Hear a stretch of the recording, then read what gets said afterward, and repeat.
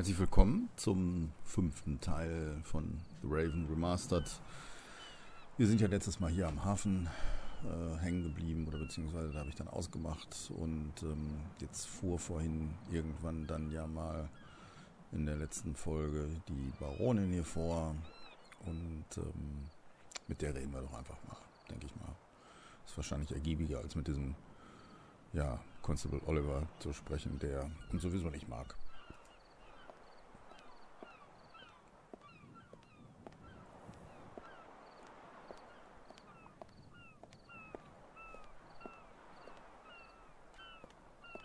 James? Wo stecken Sie schon wieder? Hallo, Frau Baronin. Ah, Inspektor. Wachtmeister. Ach, Papalapap, nicht mehr lange. Wenn sich erst einmal herumspricht, wie Sie den Jungen gerettet haben, wird man gar nicht anders können, als Sie zum Inspektor zu machen. Sehr freundlich, Frau Baronin. Ich hoffe, Sie haben das Abenteuer im Tunnel gut überstanden. Ist das nicht ein Skandal? Man bucht erste Klasse und dann muss man zu Fuß auf den Gleisen herumstolzieren. Und dann wollte man mich in einen Bus verfrachten, ohne Gepäck. Die Umstände, Madame. Ich habe auf eine Limousine bestanden und bin nicht gefahren, bis mein gesamtes Gepäck geborgen war. Wussten Sie, dass das echte Auge des Sphinx nicht im Zug war? Ich hatte keine Ahnung. Inspektor Legrand scheint es zu bevorzugen, mich im Dunkeln zu lassen. Dabei bezahle ich für all das hier. Der Inspektor sorgt sich um die Sicherheit des Auges. Zu Recht. Trotzdem waren Sie es, der im Zug die eigentliche Arbeit gemacht hat. Ich wünsche Ihnen, dass die Fahrt nach Kairo weniger nervenaufreibend sein wird als der erste Teil der Reise. Kommen Sie denn nicht mit? Ich befürchte, Inspektor Legrand will mich nicht dabei haben. Wo steckt denn dieser verfluchte Butler schon wieder? James, da sind Sie ja. Soll der Inspektor etwa alleine mein Gepäck aufs Schiff tragen? Ähm, also eigentlich. Oh! Baronin? Baronin von Trebitz, hören Sie mich. Sie ist ohnmächtig. Nein, nein. Baronin! Nochmal, kräftiger. Hallo. Hören Sie mich? Ich, äh, helfen Sie mir auf. Vielleicht sollten wir. Sofort! Hm, warum und wieso? Ich könnte Dr. Gebhardt holen. Nein, nein, kein Arzt.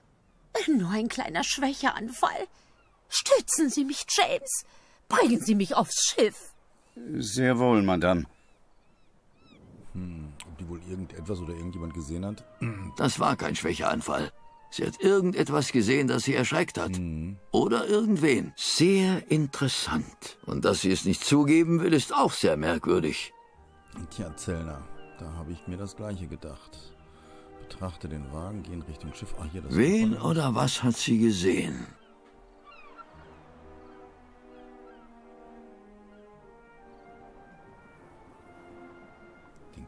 Die beiden scheinen nicht bemerkt zu haben, was hier unten passiert ist. An der beißt du dir die Zähne aus. Wie kommt jemand ohne Ticket an Bord? Hm, keine überzeugende Spur, aber die beste, die ich habe.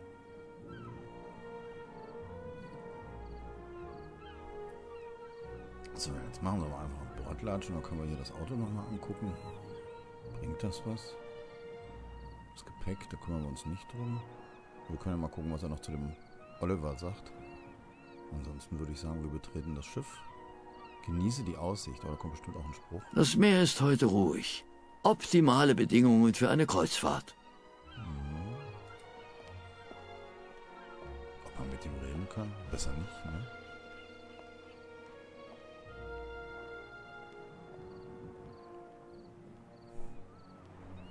Bestimmt Ärger.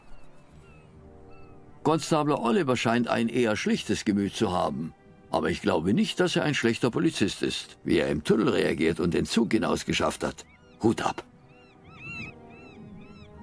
können doch mit dem reden. Hallo, Constable Oliver. Nee, können wir nicht. Ich glaube, der redet nicht mit uns. Es heißt Constable. Ich wollte nur sagen, dass Sie im Tunnel einen guten Job gemacht haben. Hm, danke. Woher wussten Sie nur, wie man den Zug in Bewegung setzt? Mein Onkel und mein Vater sind Bergleute. Mein Onkel kümmert sich um den Abtransport des Abraums. Verstehe. Und Sie haben ihm dabei über die Schultern geschaut. Klar, von nichts kommt nichts. Hat Legrand Ihnen von seiner Theorie erzählt? Dass es sich um den echten Raben handeln könnte? Natürlich hat er das. Wir sind Partner. Aber das Vorgehen passt doch überhaupt nicht.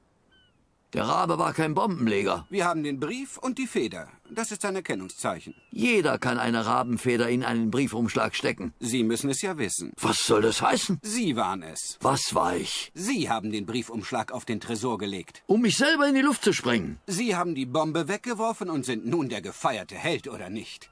Und der Rabe dürfte gut gezahlt haben. Das ist doch Blödsinn. Ist es das? Nur Sie, ich und Legrand waren im Transportwaggon. Einer von uns muss den Umschlag auf den Tresor gelegt haben. Legrand nicht und ich auch nicht. Denken Sie mal darüber nach. Na, jetzt reiß dich mal zusammen, Oliver.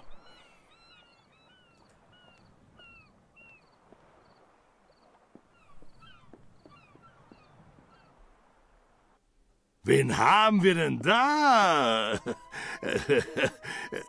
Signore. Das ist Wachtmeister Anton Zellner. Signore Zellner. Ich habe von Ihren Heldentaten in den Bergen gehört. Willkommen auf der MS Lydia. Danke. Ich wusste nicht, dass Sie mit auf große Fahrt kommen. Aber ich freue mich. Ich lasse Ihnen sofort eine schöne Kabine fertig machen. Der Wachtmeister wird uns nicht begleiten. Er hat andere Verpflichtungen. Oh, das ist aber schade. Ich hätte so gerne aus erster Hand von Ihren Abenteuern gehört. Mann, Legrand, jetzt lass uns doch endlich ans, auf das Schiff da. Das kann's doch nicht sein. Gibt's doch nicht. Was hat er nur gegen uns? Ich würde gerne Ihr Angebot annehmen. Leider verhindern das höhere Mächte. Zu bedauerlich. Wir sind bei weitem nicht ausgebucht und hätten mehr als genug Platz für einen weiteren Passagier. Der Wachtmeister will sich sicherlich nur kurz an Bord umsehen und verlässt uns, bevor wir in See stechen. Wann wird das in etwa sein? Och, äh, so ungefähr in 15 Minuten. Sie haben es gehört, Herr Wachtmeister. Dürfte ich fragen, wie ich zum Frachtraum komme? Oh, es gibt schönere Orte hier an Bord. Ich bin aber am Frachtraum interessiert. Wieso das? Eine der Reisetruhen erscheint mir verdächtig. Jemand könnte sich darin versteckt haben. Sie, Sie wollen andeuten, dass sich der genialste und vermutlich reichste Einbrecher Europas in einer Kleidertruhe versteckt, um als blinder Passagier an Bord zu kommen? Das ist nun wirklich nicht sein Stil. Deswegen ist es ja auch so unwahrscheinlich, dass er dahinter steckt. Und wahrscheinlicher, dass wir es mit einem Trittbrettfahrer zu tun haben. Und zum Stil des Trittbrettfahrers könnte es gehören, alles zu tun, was nötig ist. Zum Beispiel sich in Reisetruhen zu verstecken, wenn man sein Ticket verloren hat. Ach, kommen Sie. Ohne die Hintergründe zu kennen. Ein angemeldeter Gast würde auch ohne Ticket problemlos an Bord kommen können. Wie meinen Sie das? Man kann eine Fahrt auf der Lydia nicht am Schalter kaufen. Man bucht die Reise im Voraus. Uns sind daher alle Passagiere namentlich bekannt. Solange ein Gast auf der Passagierliste steht, lassen wir ihn mitfahren. Egal, ob er also ein Ticket vorzeigen kann oder nicht. Hatte einer der Gäste kein Ticket? Das kann ich Ihnen nicht sagen. Wir fragen nach dem Namen und gleichen ihn mit der Liste ab. Das Ticket ist kaum mehr als ein Andenken für die Passagiere. So viel zu Ihrer Kistentheorie. Ich würde trotz allem jetzt gerne den Frachtraum untersuchen. Also gut, von mir aus. Aber in zehn Minuten sehen wir uns hier wieder. Kapitän Di Conti, ich würde gerne noch zwei eilige Telegramme aufgeben, bevor wir abfahren. Äh, gewiss, Inspektor. Sie finden den Transportraum dort hinten. Äh, durch eine Tür auf dem Vorderdeck könnten Sie ihn betreten. Fünf Minuten bevor wir abfahren, wird das Horn zweimal ertönen. Das ist das Signal für alle Hafenarbeiter, das Schiff zu verlassen. In Ordnung. Kommen Sie bitte mit mir auf die Brücke. Von dort aus können Sie telegrafieren. Mir schwimmen die Fälle davon. Ich muss im Frachtraum etwas finden. Sonst ist meine Kreuzfahrt vorbei, bevor sie begonnen hat. Hm. Oh Mann. Dann mal los, Spürnase. Betrachte das längliche Ding. Was ist denn das? Oh, Was ist das? Aha. Tja, was ist denn das? Eine Taschenlampe oder was? Überlege gerade, ob äh, man hier das vielleicht ein bisschen heller stellen kann.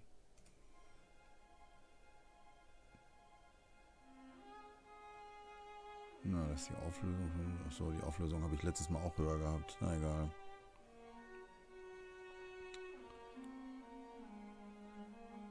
Sieht nicht so aus, ne? Komisch, komisch, komisch. Ein bisschen arg dunkel, das Ding hier. So, was muss ich denn jetzt machen? Wir haben hier ein Cabriolet.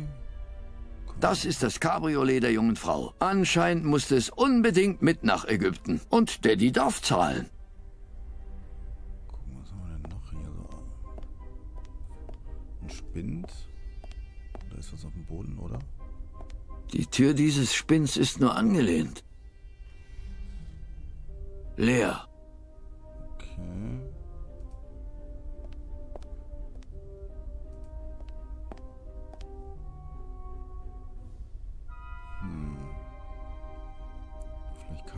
Zweimal angucken oder so. Oh, was haben wir noch? Was ist das? Ah, hier. Da ist was. Truhe. Hallo, kommen Sie da raus? Das Spiel ist aus. Ich, ich werde jetzt die Truhe öffnen.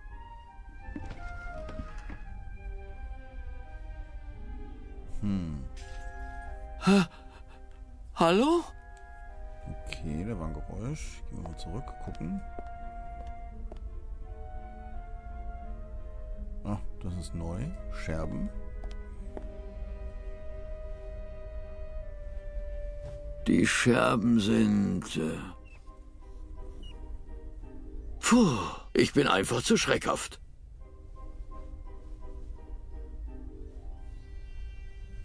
Ist jemand. Autsch. Ich glaube, jetzt haben sie uns umgehauen. Oh, Backe.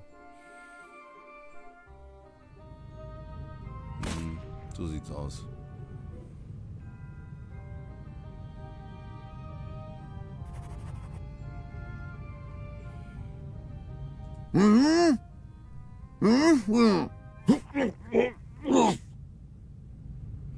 So, dann mache ich mal kurz einen kleinen Schnitt und werde speichern. Wer weiß, wie das hier weitergeht.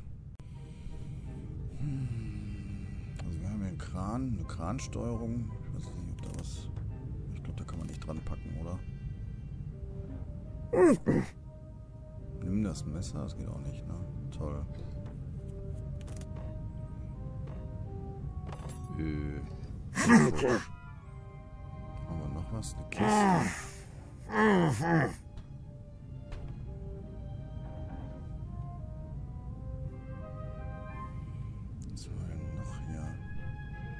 Tuch?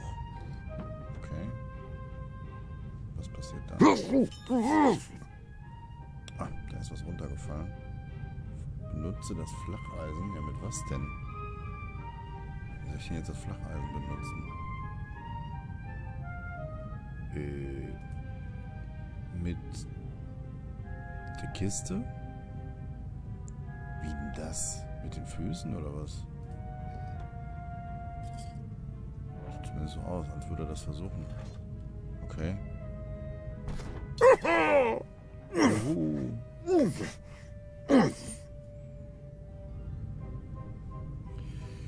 Was ist denn in der Kiste drin? Scheuere die Fesseln an der Säge durch. Ach, das scheint, scheint eine Säge oder eine Säge sieht das auch nicht aus. Sieht mir aus wie so einzelne hier Blätter vielleicht. Ja. Ja. Oh nee, da. Sägen. Doch, tatsächlich. Jetzt kann man sie sehen. Was kann ich jetzt machen? Kann ich jetzt die Kransteuerung benutzen? Mit den Füßen? Keine Ahnung. Wie will er das denn machen? Mit dem Stuhl aufstehen auf die Kiste? Oder was? Das steht auf zerbrechlich drauf. Hallo? Tatsächlich, er steht auf mit Stuhl. Ist klar. Hm. Tolle Nummer. Der gelenkige Herr Zellner.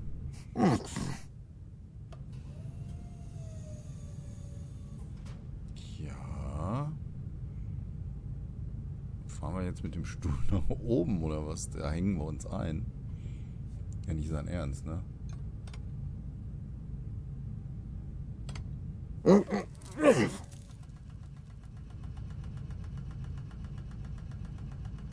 Was wird das denn jetzt?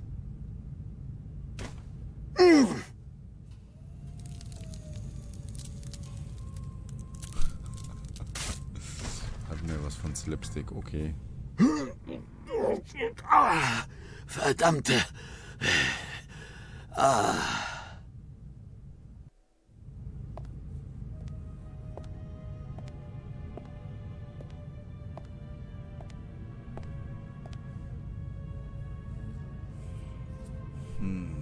Davon wird am besten niemals jemand erfahren. Ich nehme mal an, dass ähm, das Schiff schon ausgelaufen ist. Zelle. Wir noch? Betrachterzelle. Eine Arrestzelle für Crewmitglieder. Oder vielleicht auch für randalierende Passagiere. Ein Rohr. Kann man das aufheben? An der Stange kleben etwas Blut und einige Haare. Okay. Um die Haare tut es mir besonders leid. Kann man das mitnehmen? Ich fasse sie auf der Seite mit den Blutspritzern an. Wer das Opfer ist, wissen wir ja schon. Ja, das bist du selbst. Was ist das da? Betrachte das Schott. Gucken wir mal, ob wir nach oben gehen können. Und ob wir hier rauskommen.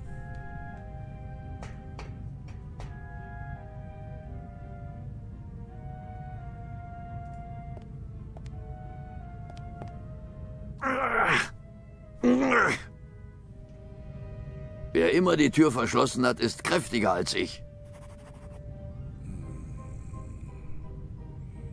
Kann ich die Tür mit dem... Schauen wir mal durch. Draußen ist es bereits dunkel. Wie lange war ich bewusstlos?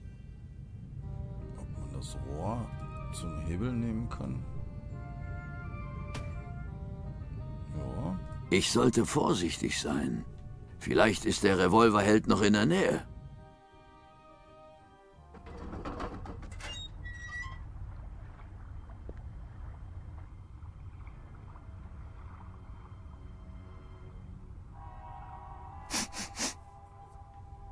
Was soll das, Zellner?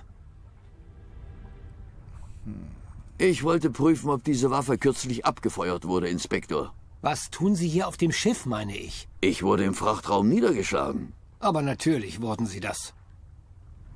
Ja, aber Hier, von. sehen Sie. Vorsicht, auf der Seite könnten Fingerabdrücke sein. Sie erwarten doch nicht, dass ich Ihnen das glaube. Doch.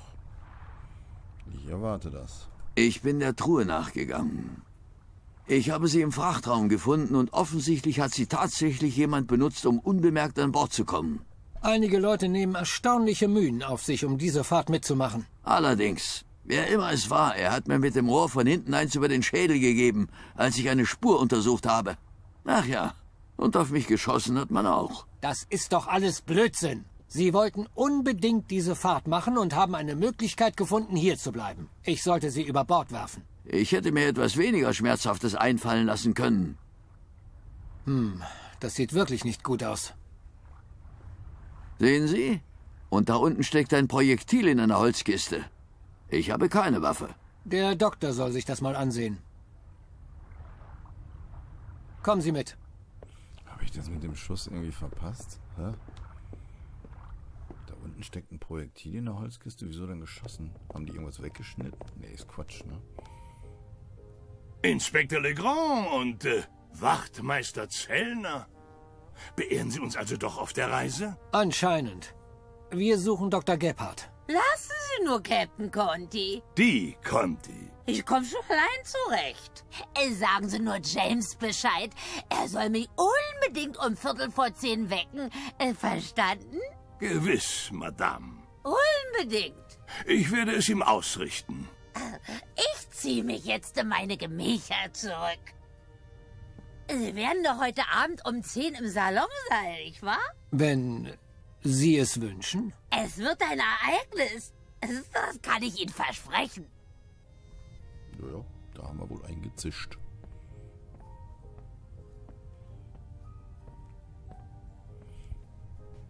Die frische Meeresluft und das eine oder andere Glas Champagner. Aber ich freue mich, dass Sie sich doch noch entschlossen haben, mit uns nach Kairo zu kommen. Nicht ganz freiwillig. Behauptet er. Ich wurde niedergeschlagen. Von hinten. Aber das ist doch... Äh, Dr. Gebhardt soll sich das mal ansehen, Kapitän Di Conti. Selbstverständlich. Äh, kommen Sie in den Salon, Wachtmeister Zellner. Ich werde den Doktor rufen lassen. Ah, Doktor, da sind Sie ja. Unser tapferer Wachtmeister Zellner hier wurde angegriffen. Schlag auf den Kopf. Oh. Setzen Sie sich bitte hin. Nun erzählen Sie schon. Was ist passiert? Ja, ich wurde niedergeschlagen von irgendeinem gemeinen Kerl hinterrücks. Ich glaube, Sie haben einen blinden Passagier an Bord. Ich wurde niedergeschlagen. Unverschämtheit. Ich werde die Crew sofort anweisen, das Schiff gründlich zu durchsuchen. Und natürlich sind Sie herzlich eingeladen, mit uns die Fahrt fortzusetzen, Herr äh, Zellner. Wenigstens einer, der mich nicht über Bord werfen will. Ist es schlimm? Ja, tut ziemlich weh. Ich habe mit Dr. Gebhardt gesprochen. Er hat einen heftigen Schlag auf den Hinterkopf bekommen. Wie schlimm es ist, kann ich noch nicht sagen. Aber ich! Es tut ziemlich weh. Warum hat man nicht nach mir gesucht? Ist niemandem aufgefallen, dass ich nicht aus dem Frachtraum zurückgekommen bin? Wir haben Sie gesucht, aber nicht gefunden. Wer sollte sich im Frachtraum umsehen? Constable Oliver. Und darüber wird noch zu sprechen sein. Allerdings. Wie viele Finger sehen Sie? Was für Finger. Okay, drei. Drei Finger. In Ordnung. Wo sind wir? Und, und wie spät ist es? Ich muss lange ohnmächtig gewesen sein. Es ist kurz nach 8 Uhr abends. Das Dinner ist gerade vorbei. Aber um 10 Uhr treffen wir uns alle hier im Salon zu einem kleinen Umtrunk. Die Begrüßung der Gäste durch den Kapitän am ersten Abend ist ein fester Programmpunkt jeder Fahrt. Sie sind soweit in Ordnung, Wachtmeister. Die Blutung hat schon aufgehört, die Wunde sieht gut aus. Vielleicht haben Sie eine leichte Gehirnerschütterung. Eine ruhige Nacht und morgen haben Sie nur noch Kopfschmerzen und eine beeindruckende Beule.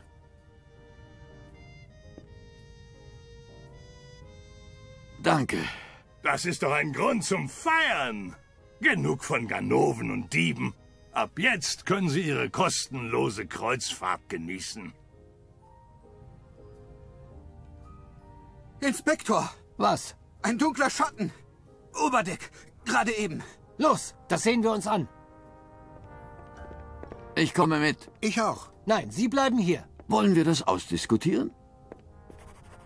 Robert, Sie gehen zur Baronin und lassen sie nicht aus den Augen. Zellner, Sie kommen mit nach Backbord. Und Sie gehen nach Steuerbord, Doktor. Ich werde auf dem Vorderdeck anfangen und mich bis zu Ihnen beiden zurückarbeiten. Verstanden? Aber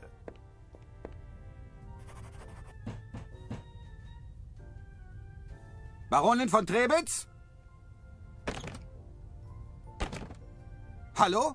Baronin von Trebitz, öffnen Sie die Tür!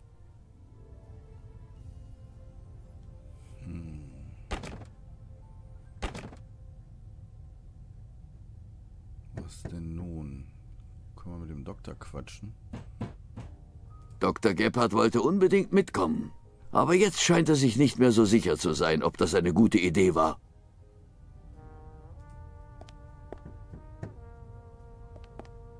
Alles klar, Doktor? Natürlich. Warum denn nicht? Es ist nur... Also... Ich würde lieber mit Ihnen kommen. Sie haben den Inspektor gehört.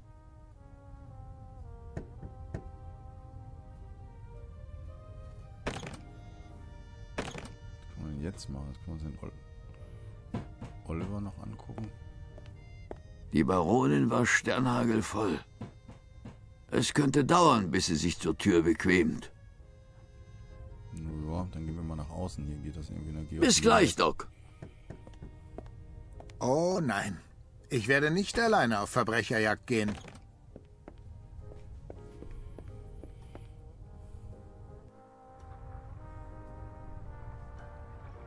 Ja, ist ihm doch noch schlecht, ha? Ist alles in Ordnung? Vielleicht sollten Sie sich besser ausruhen, falls der Schlag doch heftiger war. Geht schon.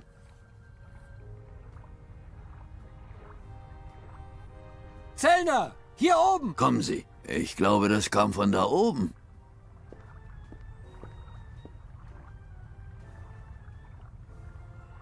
Sicher, du wolltest nur mal frische Luft schnappen.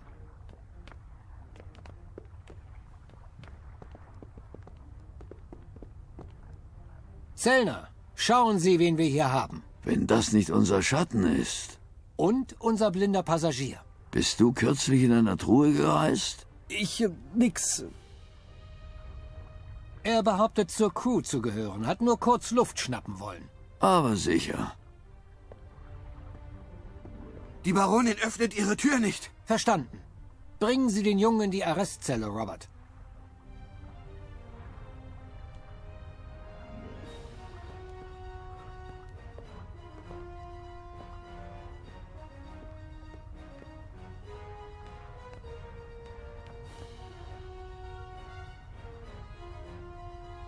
Sie hatten recht. Es gab einen blinden Passagier. Ja, aber der Rabe kann er nicht sein. Er ist zu jung. Richtig. Was aber nicht heißt, dass der Rabe nicht doch hier herumspukt. Was war das? Ein Schuss. Er kam aus einer der Kabinen. Oh je. Ist die Baronin tot?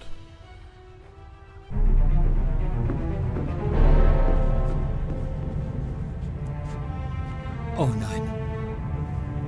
Baronin von Trebitz? Baronin! Öffnen Sie die Tür!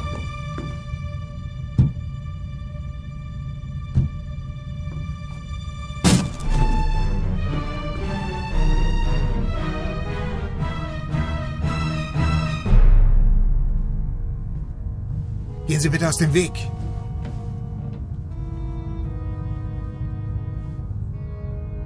Wir haben es mit einem Mord zu tun, Gentlemen.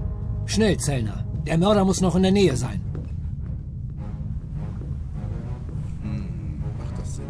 Es ist so gut wie niemand an Deck. Jeder, der sich draußen befindet, ist verdächtig. Dieses Mal kriegen wir ihn. Zellner, sind Sie in Ordnung? Ja, na los. Wir müssen.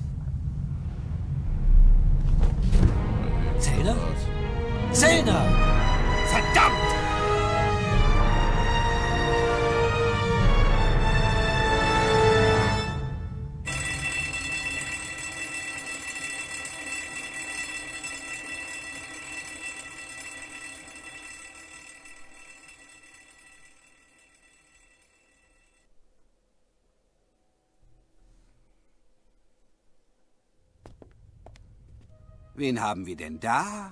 Ausgeschlafen? Jetzt wird man nicht frech, Kleiner. Ähm, ich habe mir nicht freiwillig geschlafen. Naja. Ich habe mich nicht freiwillig schlafen gelegt. Mir egal. Wir sind auch ohne sie gut zurechtgekommen. Was hat mich so ausgenockt? Ja, das ist ja wohl klar. Tathergang, irgendwelche Verdächtigen. Haben Sie schon jemanden festgenommen? Sie meinen außer dem Araber? Er kann den Mord schwerlich begangen haben.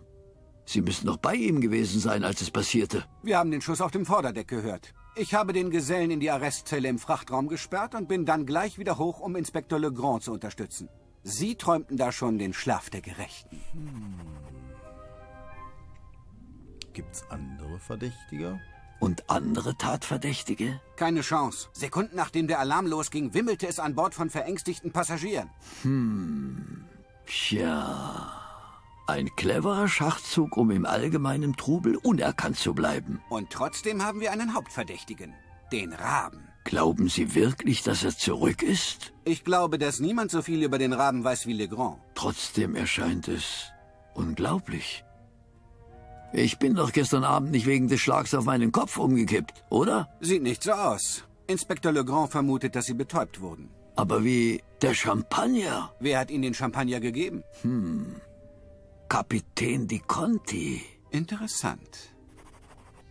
Man müsste doch Rückstände vom Betäubungsmittel im Glas finden können. Genau das untersucht Legrand gerade. Wie das ohne Labor? Oh, er hat eins. In seiner Kabine steht alles voll von so modernem Ermittlungskram. Schon beeindruckend, zu was der Inspektor in der Lage ist. Ein fähiger Mann, keine Frage.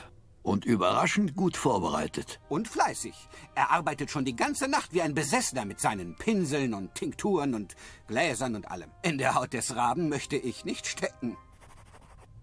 Was ist der vermutete Tathergang?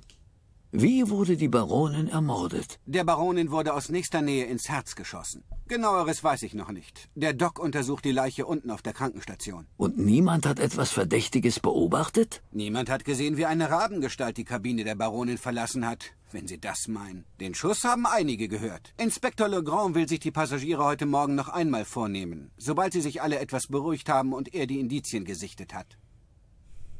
Ich gehe davon aus, Sie und Legrand haben den Tatort und die Umgebung untersucht? Natürlich. Und wir konnten schon einen Haupttreffer landen. Die Tatwaffe. Tatsächlich?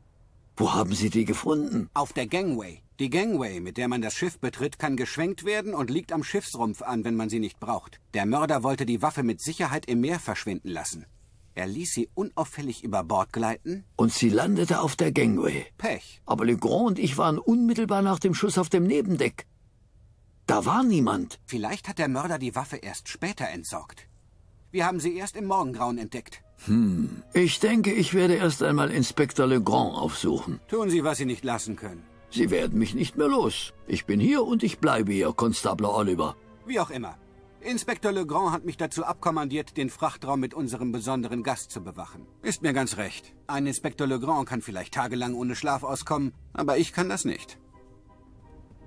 Es ist nicht leicht, mit großen Tieren mitzuhalten, Wachtmeister Zellner. Nein, vermutlich nicht. Heißt der jetzt Robert Oliver? Also immer Constable Oliver und dann hinterher wurde angesprochen mit Robert. Also irgendwie bin ich da verwirrt, aber gut.